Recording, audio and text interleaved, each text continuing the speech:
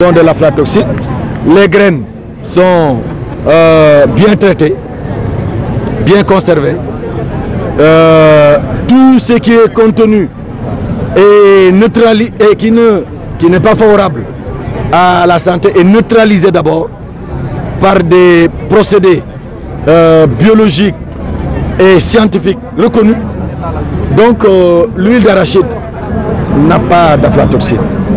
Et ceux qui le disent, c'est souvent nos concurrents.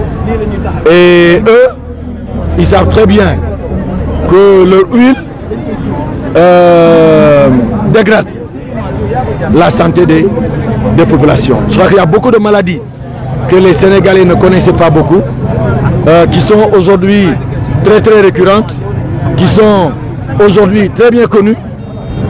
C'est à cause de ce que nous consommons. C'est la raison pour laquelle je lance un appel aux populations sénégalaises pour qu'elles regardent la qualité de l'huile qu'elles consomment. C'est extrêmement important. Qu'elles ne fassent pas trop souvent attention au prix.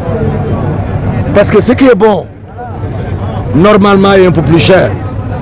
Mais si vous achetez des produits qui sont bon marché, mais qui dégradent votre santé, c'est clair qu'avec les ordonnances, vous allez vous retrouver avec des factures beaucoup plus élevées. Par contre, si vous consommez l'huile d'arachide, il n'y a aucun risque sanitaire. Mais ensuite, vous soutenez euh, le PIB de votre pays, le taux de croissance de votre pays, vous soutenez votre pays. Mais, et nous pensons que les patriotes, les nationalistes doivent soutenir la filière arachidière qui concerne au moins 5 millions de, de compatriotes. Qu'en est-il exactement du stock que vous avez déjà trouvé sur place?